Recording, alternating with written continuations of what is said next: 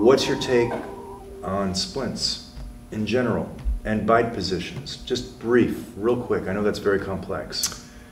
It, it depends on the joint foundation. Right. And how can one know without imaging? Uh, You can, you can take an educated guess. Right. And there are some splint designs that are kind of like a shoe that goes on your foot even though it doesn't fit perfectly. Sure. And so you can't put a shoe on that's too tight, won't go on at all. Right. You almost have to put a shoe on that's a little bit loose. Mm-hmm. And I guess in an analogous way, that's kind of what I do with splints. If I'm recommending something to somebody who's not been imaged, and it happens all the time with doctors. Mm-hmm. Doctors always come up to me at a meeting and say, my wife has this, or my daughter has that. And I haven't imaged them, but what do you think I should do with a splint? Hmm. Well, you should image them. Okay, it's your daughter, it's your wife, you should image And they them. look for excuses and reasons why they can't do that. They want to get the quick fix and the generalized statement, this is what you do. But as you know, with imaging, it becomes impossible to generalize. Mm-hmm. So all I can say is, you know, you've got to go with a very generic splint. I like full coverage. I don't like partial coverage. Including NTIs. Is that correct? Any, any kind of anterior deprogrammer, unless I know the condition of the joint is stable, I don't want to use them. Every dentist I've ever run into that thinks they know something about TMD loves the NTI. What's your opinion on that? It's one? great for my business, okay? They damage TM joints, uh, you know, it, it, Yep. a- and, you know, I, I, to be serious about it, I have real concerns because Yeah. bites change more. And I don't see, I don't see a lot of the more complicated patients getting better. I see them Yeah. getting worse.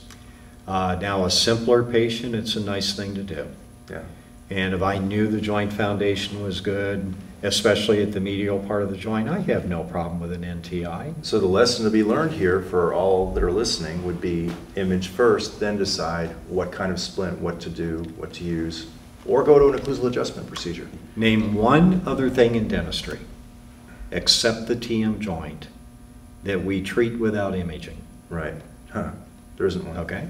Yeah. We now image airways, we image the dentition, we image the periodontium, we image everything Except. except the TM joint. And the surgeons do that too. They ignore that as well. The orthodontists, I mean, no offense to you, you're obviously doing it, but most are not.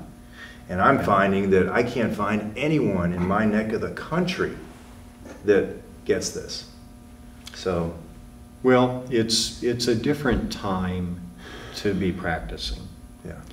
And I think the, I think the reality is that when I went into practice, when you went into practice, it was, it was a different time.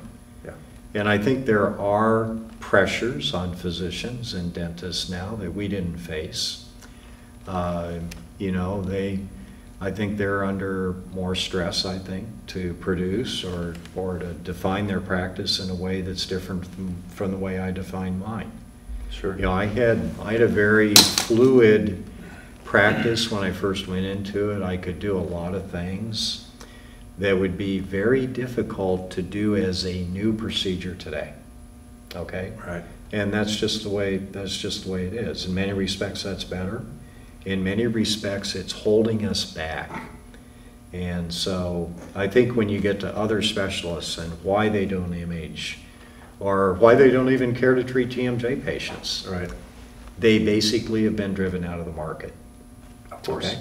And that hurts patients too. Yep. I appreciate. Um, Thank you. Pleasure.